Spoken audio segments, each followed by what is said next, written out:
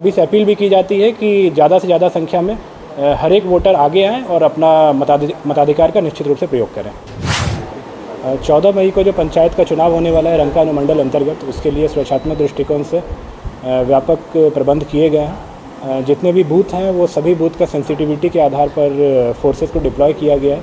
चाहे हमारी जिला की पुलिस हो या फिर बाहर से जो हमें जैप और आईआरबी की कंपनीज़ मिली है, उनका डिप्लॉयमेंट रहेगा। नक्सल दृष्टिकोण से जहाँ जहाँ हम लोग को आसूचना प्राप्त हो रही है वहाँ पर उनके विरुद्ध व्यापक अभियान चलाया जा रहा है जो हमारे सेंट्रल फोर्सेज हैं उनके द्वारा।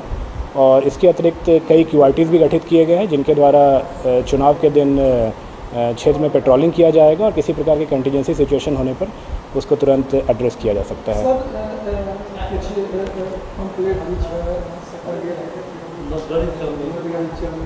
है अभी तक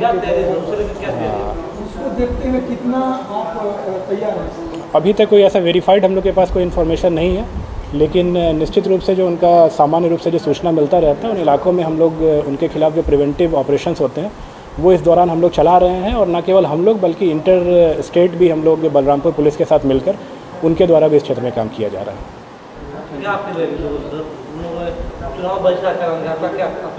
हम लोग के द्वारा व्यापक सुरक्षा के इंतज़ाम किए गए हैं। इस दौरान फोर्सेस बिल्कुल इंटीरियर इलाकों में जाकर भी लोगों का जो कॉन्फिडेंस बिल्डिंग के लिए लगातार काम कर रही है और हम लोग को पूर्ण भरोसा है कि लोगों को हमारे सुरक्षा व्यवस्था पर पूर्ण विश्वास रहेगा।